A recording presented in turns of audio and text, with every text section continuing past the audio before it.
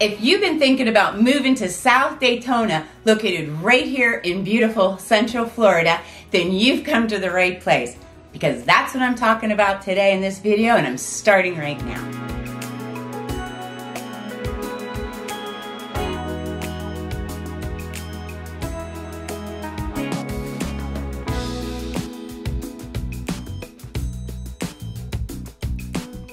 Hey, welcome back everyone. And if you're new to my channel, welcome.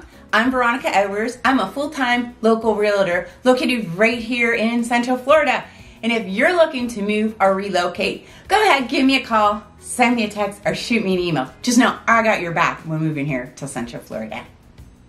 Okay, South Daytona, to start off where it's located, is a rather small town. But with it being a small town comes many, many great benefits. It is located between Daytona Beach and Port Orange, Florida.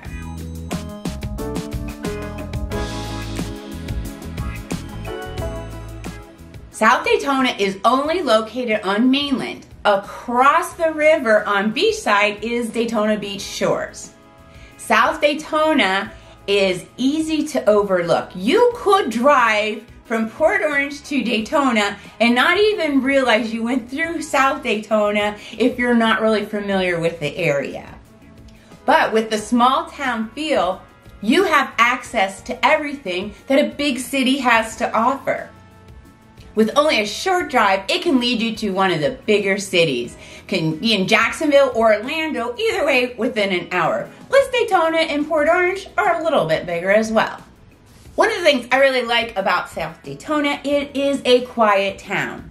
When families do discover or locals contact me to move into South Daytona, which is not often because I have noticed over the years, people don't move a lot out of there. I think they know they got a good thing.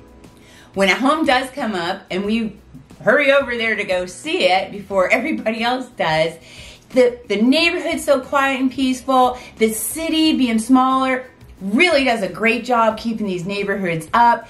People are just so friendly to each other and they're always very welcoming to newcomers.